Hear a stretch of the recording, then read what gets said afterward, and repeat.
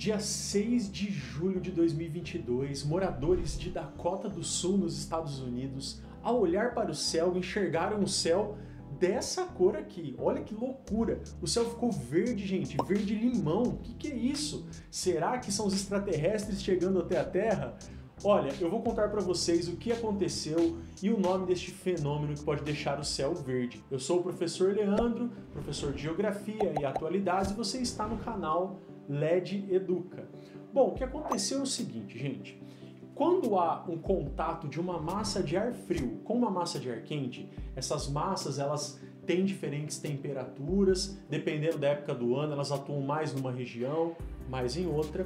O ar frio, por ser mais pesado, ele tende a ir por baixo do ar quente. No contato do ar frio com o ar quente, nessa faixa aqui que eu estou falando para vocês, começa a ter a formação de nuvens e nuvens carregadas de umidade. Existe um tipo de nuvem chamada cúmulos nimbus, que é aquela nuvem de chuva, sabe? Que ela tem até a base bem cinzenta. Vou até deixar um card aqui para você ver um vídeo depois que terminar esse sobre os tipos de nuvens. Mas enfim, essa nuvem, quando ela está muito carregada, ela dificulta a passagem da luz. E o que, que acontece quando a nuvem está muito carregada também e a temperatura lá em cima é mais baixa? Forma cristalzinhos de gelo. Quando a luz ela passa por um cristal, você já deve lembrar daquela experiência que eu tenho certeza que vem à tua mente, ela reflete assim e vira aquelas cores, né, as cores do arco-íris. E a mesma coisa acontece com a nuvem a luz, parte dela não consegue passar e a parte que consegue passar nessa situação é a luz, é o espectro da cor azul. E quando tem o azul misturado com a tonalidade amarelo, porque dependendo do horário do dia o céu não fica meio amarelado, é o que resulta, neste caso, na cor verde. Mas deve estar pensando, pô, se aqui no Brasil tem nuvem cúmulos nimbus, às vezes o céu realmente fica muito carregado e o céu às vezes fica amarelinho também. Por que, que a gente não enxerga o céu verde?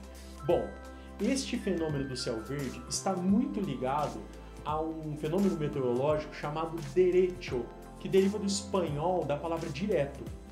Este fenômeno recebe esse nome porque os ventos eles vêm mais ou menos na mesma direção, diferente de um tornado. O tornado também é formado quando tem diferenças de temperatura, formação da nuvem cúmulos nimbus, mas o tornado ele possui ventos circulares. O derecho, pelo, pela forma que ele é desenvolvido, que lembra um pouco. Quer ver um exemplo interessante? Sabe quando você está na praia e tem aquelas ondinhas e às vezes do formato do litoral da praia ela forma como se fosse uma letra C e daí as ondinhas menores elas vão se juntando e formam uma onda maior. É mais ou menos isso que acontece com o ar nessa porção aqui dos Estados Unidos quando tem as condições específicas para a formação de um derecho, que já aconteceu no Brasil, viu? Mas o céu não ficou verde desse jeito. Bom, vou deixar aqui no, no card final alguns vídeos, né? E também uma playlist para que você possa ficar por dentro de assuntos bem interessantes e conhecer mais o canal LED Educa. Valeu, até a próxima!